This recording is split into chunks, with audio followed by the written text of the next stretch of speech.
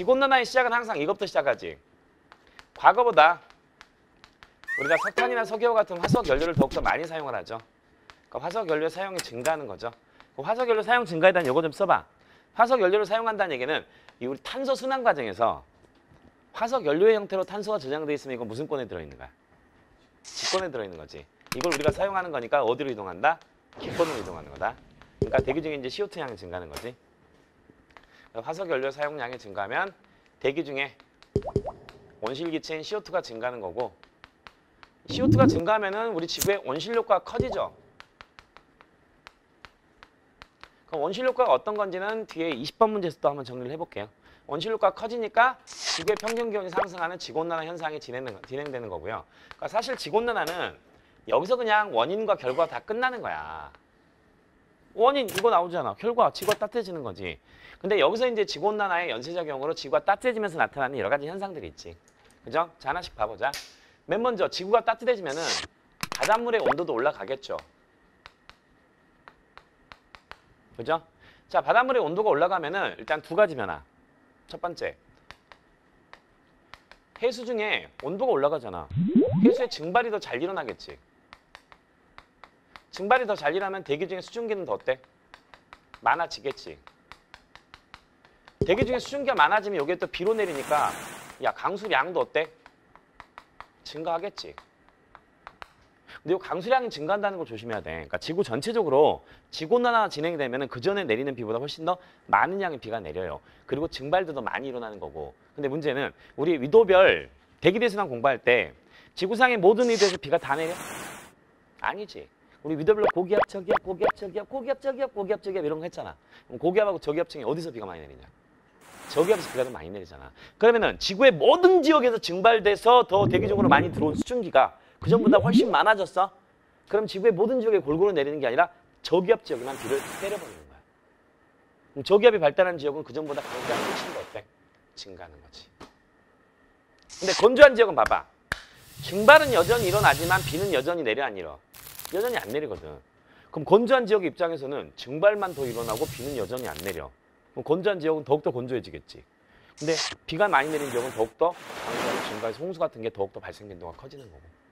알겠습니까? 그 다음에 얘들아 우리 앞에서 배웠던 것 중에 요 대기 중에 수증기를 에너지원으로 하는 기상현상 뭐 있었지?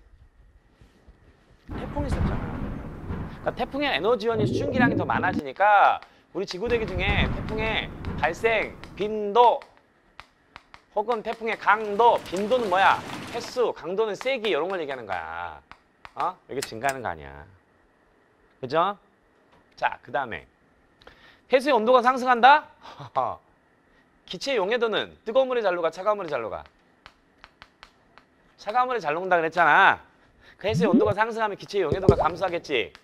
특히나 기체 중에서도 우리 온실효과를 일으키는 기체인 어떤 기체? 이산탄소. CO2 용해도가 감소한다는 얘기는 CO2가 대기 중에 있는 CO2가 물에 잘 녹아 안 녹아? 안 녹는다는 얘기고 물속에 녹아있던 CO2마저 더 이상 녹아있을 수 있는 상태가 안 된다는 얘기야. 그러면 얘기는 대기 중에 있는 CO2는 녹진 않고 바다에 녹아있는 CO2는 방출을 하고 그럼 대기 중에 CO2의 농도는 또 어떻게 돼? 증가하겠지. 야 지구온난화의 원인이 뭐였냐? 대기 중에 CO2 농도가 증가하는 거였잖아. 화석연료 사용 증가 때문에. 근데 이런 지구온난화 때문에 또 대기 중에 CO2 농도가 어때? 증가하는 거지.